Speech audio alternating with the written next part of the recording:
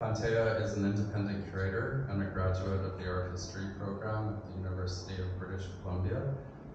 Her curatorial projects include Unsent Dispatches from the Iranian Revolution, 1978-1979, which was at Presentation House Gallery in 2005.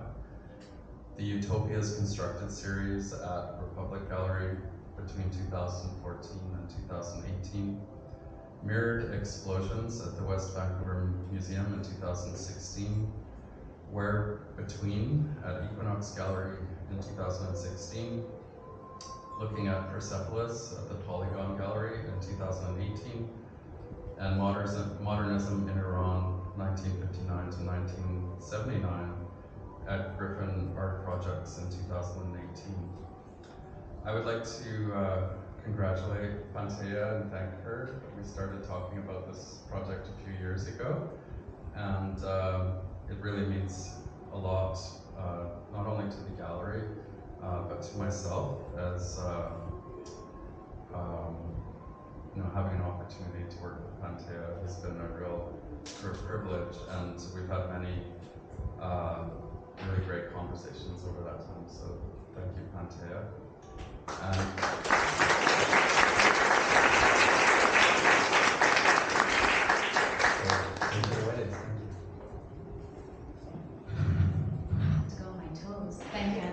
Welcome everyone. So I will introduce uh, Dr. Daftari.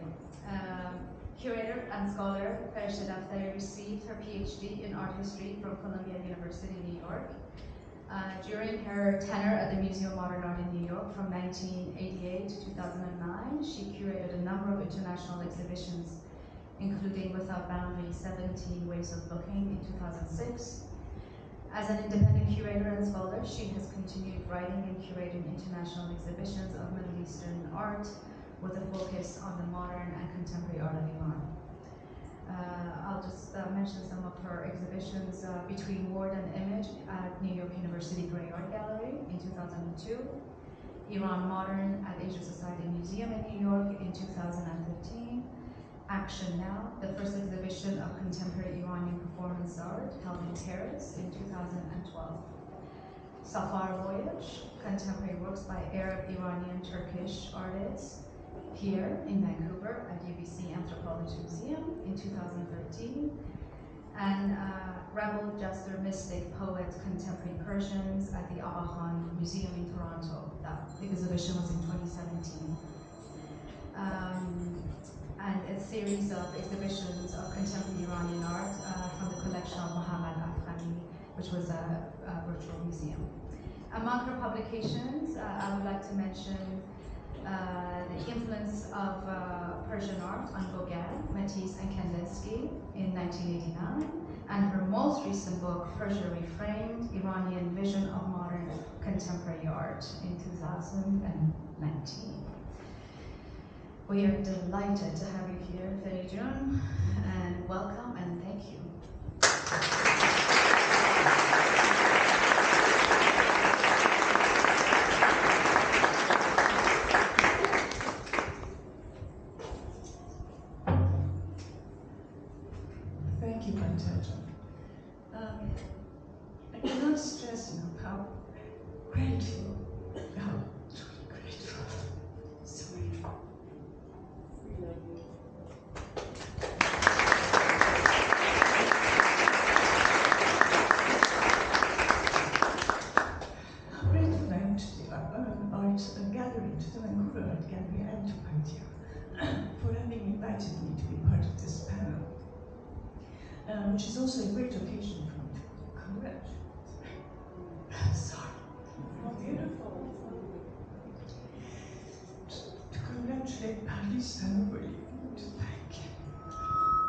For all the many questions I have harassed them throughout the years. so Tanavoli uh, truly, he revolutionized sculptural vocabulary, the sculptural vocabulary in Iran.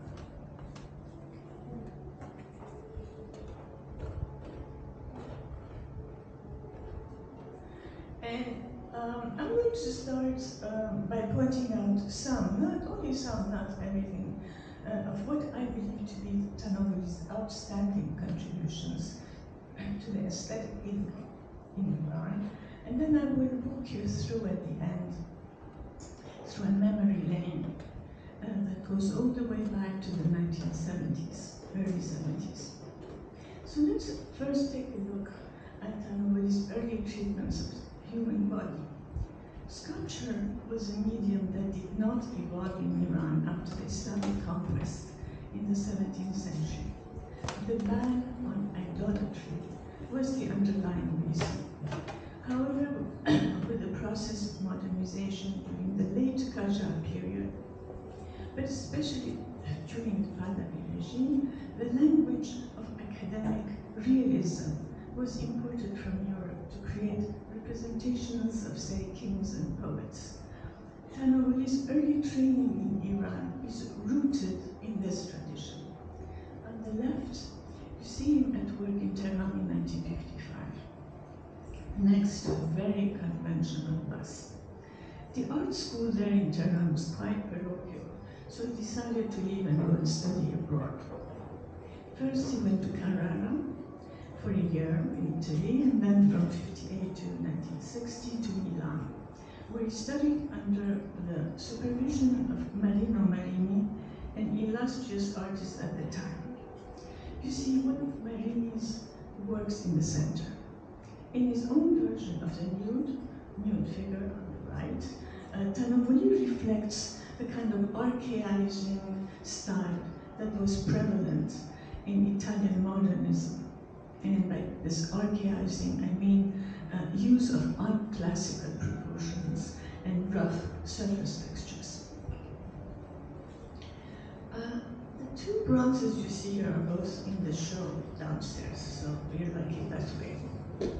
Uh, so now if we fast forward to later works when Tanavoli's own aesthetic language had taken shape, uh, that's when we realized that he invented a whole new language to describe the human figure. These are anthropos anthropocentric, yes, but not complete human figures. Body parts include locks, faucets, keys, shrines, and cages, and some humble objects with religious connotations. The use of such objects is very astute in his work. They're not trivial decorative elements. There's an agenda behind them. These low-tech objects were scavenged in bazaars and in the less affluent neighbors of the city. They belong to the vernacular of popular life and the proletarian culture. And in my view, elevating them to fine arts, to the level of fine arts, is in itself a politicized statement. Sometimes, as in the case of the works on the screen, keys and locks operate as surrogate genitals. They seem to point to, uh, to nudity or sexuality while nodding um, in a clever way at censorship. In my view, they signify locked up sexuality. The gesture is humorous indeed, but not in a superficial sense. It can be interpreted as a critical response to a conservative society. Humor, as I've tried to address in most of my writings, is an important element in Iranian modern art, but something that has not been highlighted as much as it should have. Uh, when you look at the head of his Poets with Hich 2, you see that it has metamorphosed into an emblem of religion, uh, of Shiism to be more specific. It can be identified as the hand of Hazrat Abbas, which was severed at the Battle of Karbala when he attempted to bring back water from the Euphrates. During uh, the Ashura commemorations of that event, such hands become ubiquitous in ceremonies and processions. You also see them decorating shrine-like structures, often conceived as public water dispensers, which are also commemorative of the thirsty martyrs of Karbala. They are known as Saqqa Khune, Khune meaning house, and Saqqa is water carrier or water bearer, so the house of water. You see the hand on top uh, of one such Saqqa is on the screen, to the left, on top. of this Saqqakhune. Tanavoli was highly influential in finding objects that entered into the iconography of an arts movement that came to be baptized as the Saqqakhune movement. He was not the only Saqqakhune artist to integrate the hand into his art, but he was the only one to make it part of, the, of his sculpture's body language.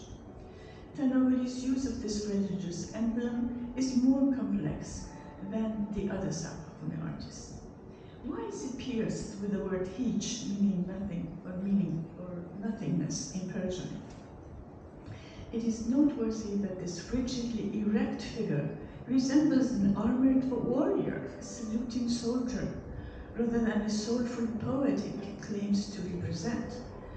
In Tanavoli's lexicon, poet, prophet, and artist are all manifestations of the same, same persona. This leads me to believe that we're looking at the image of the embattled artist, perhaps grappling with matters related to religion. Aside from the innovations in the treatment of the human figure, Tanavoli's subject matter too, too transcended what came before him, and in my view is even more daring than that of his contemporaries. While he shared a sense of class consciousness with other Saqqakhune artists, such as painters like uh, Pilaram and Hossein Zenderoudi, and, and an interest in the ordinary, the prosaic, the humble, and the mundane, a characteristic that was also found in uh, uh, American and European artists were pursuing in pop art. Tanavoli's treatment of such iconography was pointedly critical. Let's look at his innovation in art on the assemblage was created in the early 60s, when the Saqqakhune movement he helped create became the most avant-garde expression of Iranian modernism. This work, however, is very different from what is considered Saqqakhune proper, in that it lacks references to typical religious motifs such as the aforementioned hand of Hazrat Abbas. In its center, you see what we call in Persian an aftabe, which is a water container used in toilets. is the Islamic hygiene's version of the toilet paper.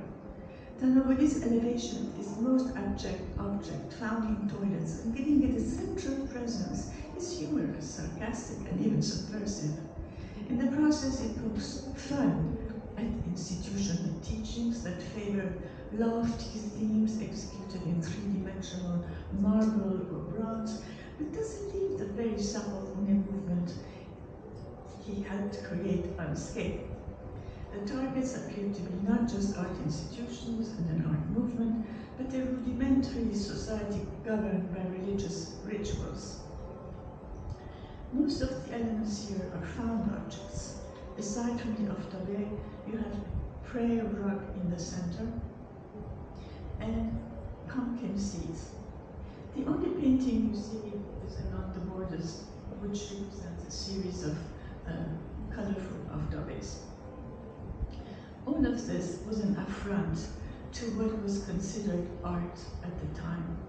Neither critics nor the public understood the joke, or probably they did, and took offense. Galerie Borghese, where it was exhibited in 1965, had to close down the show. I mean, he, uh, the woman, the lady, Mrs. Hoveyda, asked uh, the artist to remove his work, and two days later, she just closed down the show. And the work was not seen again until it was